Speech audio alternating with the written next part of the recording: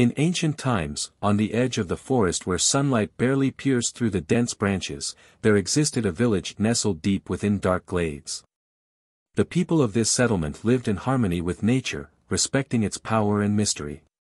However, one night, when the moon hung in the sky like a large silver coin, an unsettling darkness loomed over the village. The mysterious phenomenon brought fear and uncertainty to the inhabitants.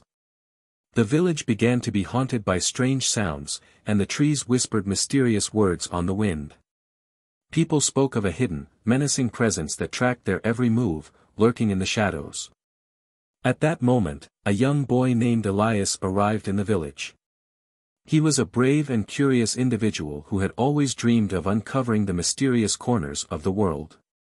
Seeing the fear and unrest in the eyes of the villagers, he decided to take on the challenge of unraveling the mystery of the darkness that had engulfed their settlement.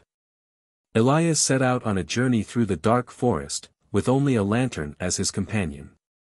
With every step, his heart beat faster, and the shadows seemed to come alive. When he reached the heart of the forest, he stumbled upon an old cottage hidden among the thickets of trees. Not knowing what to expect, Elias decided to enter the cottage. Inside, he met an old woman with wise eyes and grey hair, who told him the story of an ancient forest spirit that watched over the balance of nature. The spirit was troubled by the actions of people who did not respect the forest and its inhabitants. It was responsible for the strange phenomena that plagued the settlement, trying to warn people against their own arrogance and ignorance. Elias understood that the key to overcoming the darkness was reconciliation with the spirit of the forest and restoring harmony between people and nature. He promised to persuade his fellow villagers to change their way of thinking and acting, to earn the favor of the spirit. He returned to the village as a new man, with a newfound understanding and message. Thanks to his efforts, the villagers began to respect the forest and its inhabitants, caring for the balance of nature.